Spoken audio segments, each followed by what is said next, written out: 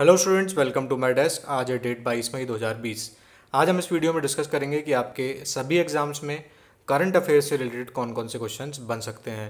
तो आप pen paper on कर लीजिए और सभी इंपॉर्टेंट फैक्ट्स को नोट डाउन करते चलिए और वीडियो को अंत तक देखिए ताकि आपका कोई भी फैक्ट मिस ना हो। आपकी पहली अपडेट है आज की, बच्चों में समय से पहले फेफड़ों की बीमारी के उपचार हेतु लीसा तकनीक का प्रयोग किस राज्य में किया गया है? आपके ऑप्शन हैं राजस्थान, गुजरात, मध्य प्रदेश या उत्तर प्रदेश। आपका राइट ऑप्शन है राजस्थान। देखिए, राजस्थान में एक हॉस्पिटल है J K Lon government children hospital इन्होंने हाल ही में बच्चों में फेफड़ों की एक बीमारी होती है रेस्पिरेटरी डिस्ट्रेस सिंड्रोम इसके उपचार के लिए लीसा तकनीक का उपयोग किया है।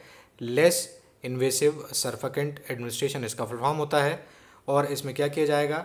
मैकेनिकल वेंटिलेशन के मद्देनज़र नवजात शिशुओं के अपरिपक्व फेफड़ों को फेफड़ों को होने वाले नुकसान से बचाने हेतु श्वसन प्रबंधन एवं वेंटिलेशन के लिए फेफड़े की सुरक्षात्मक रणनीति के रूप में इस तकनीक को विकसित किया गया है और इसका यहाँ पर उपयोग इन्होंने हाल ही में किया है। ठीक है, अब बात आई है राजस्थान की तो राजस्थान की राजधानी है जयपुर। सीएम है अशोक गहलोत, राज्यपाल हैं कलराज मिश्र।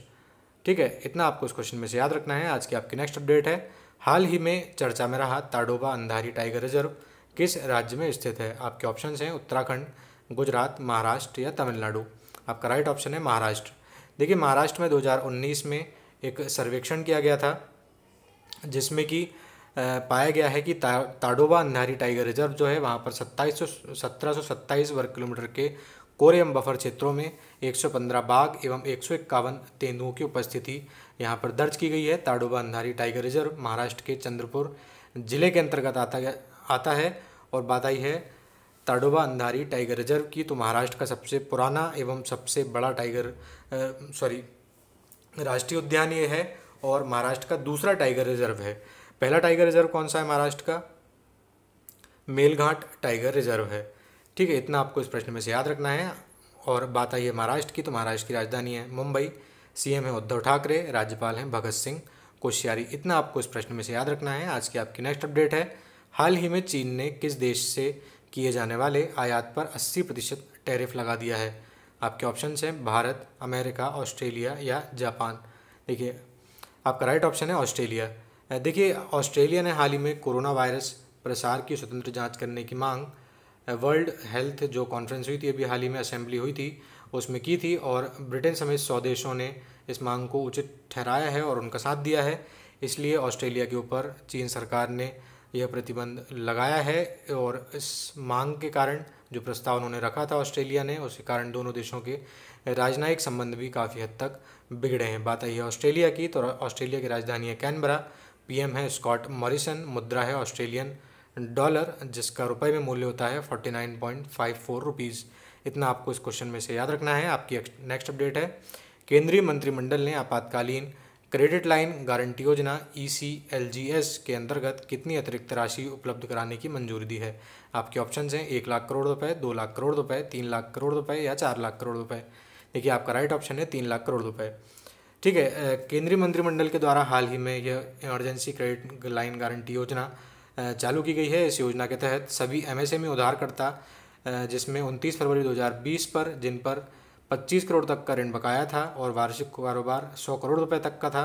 उनके लिए गवर्नमेंट ने एक संस्था का निर्माण किया है जो कि इन संस्थाओं के द्वारा लिए जाने वाले लोन की गारंटी देगी, जिससे कि क्या होगा, एमएसएमई क्षेत्र में विनिर्माण और अन्य गतिविधियों को सुचारू रूप से आगे सरकार चला सकेगी, जिससे कि इन व्यवसायों को उभरने में मदद मिलेगी। आपका नेक्स्ट अपडेट है आज की।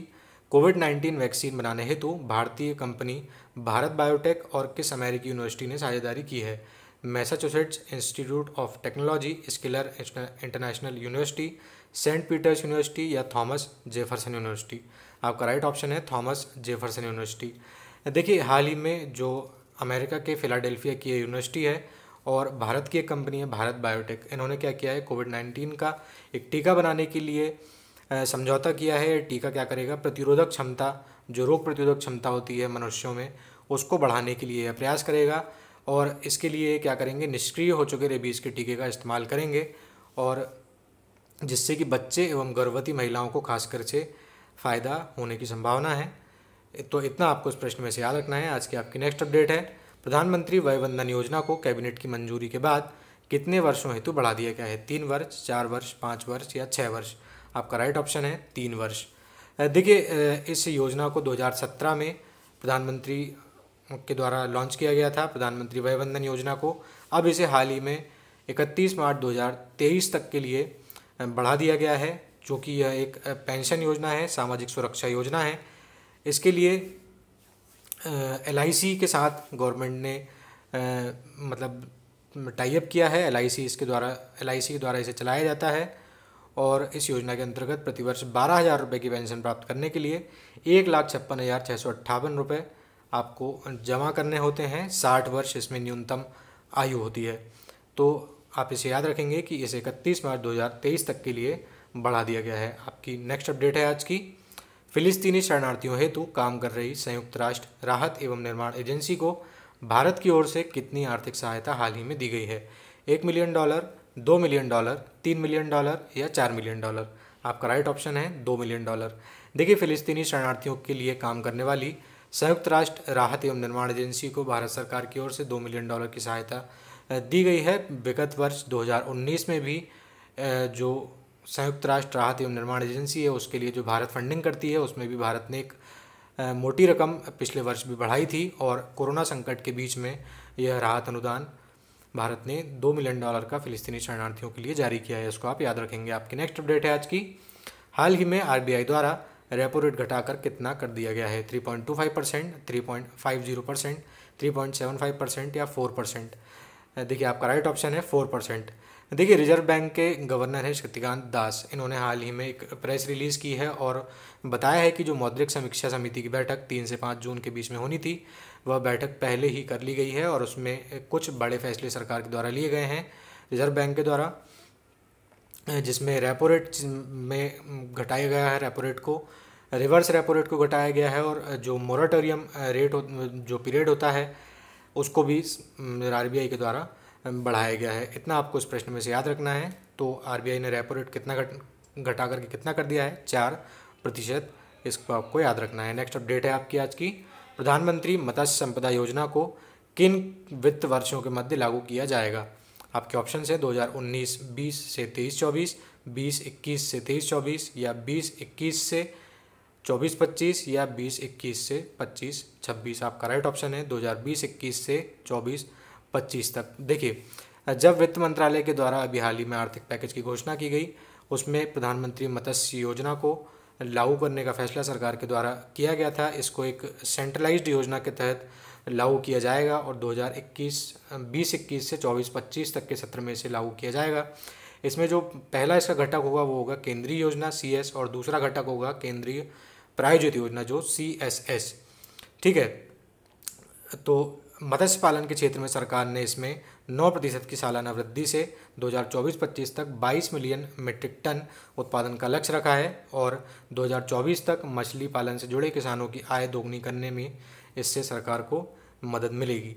ठीक है, इतना आपको इस योजना में से याद रखना है, इतना आपको इस प्रश्न में से याद रखना है। नेक्स्ट अपडेट है आपकी। हाल ही में भारतीय इस्पात संघ के नए अध्यक्ष कौन बनाए गए हैं? आपके ऑप्शन हैं दिलीप उम्मेन, राकेश गुप्ता, गौतम अडानी, या रतन टाटा। देखिए राइट ऑप्शन है दिलीप उम्मेन जो भारतीय इस्पात संघ है, उसके अध्यक्ष थे टी वी नरेंद्रन। इन्होंने हाल ही में क्या किया है? भारतीय इस्पात संघ के अध्यक्ष पद से इस्तीफा दिया है और दिलीप उम्मेन जो कि Arcelor Mittal, Nippon steel India के सीईओ हैं, उन्हें हाल ही में इसका अध्यक्ष बना दिया गया है और वे इस पद पर दो वर्ष के लिए चुने गए हैं। दो वर्ष का उनका कार्यकाल होगा। इतना आपको इस प्रश्न में से याद रखना है। अब चलते हैं उस प्रश्न की तरफ़ जो आपको कल दिया गया था। हाल ही में लक्ष्मण दास केसवानी का निधन हुआ, वे कौन थे? पत्रकार थे, शिक्षक थे, राजनीतिज्ञ थे या संगीतकार थे? आपका राइट ऑप्शन है, पत्रकार थे। ठीक है, अब आपके लिए प्रश्न। हाल ही में आयुष्मान भारत योजना की एक करोड़वीं लाभार्थी कौन बनी है? पूजा थापा, दीप्ति पढ़ या सोनम रियो या जोराम खांडू?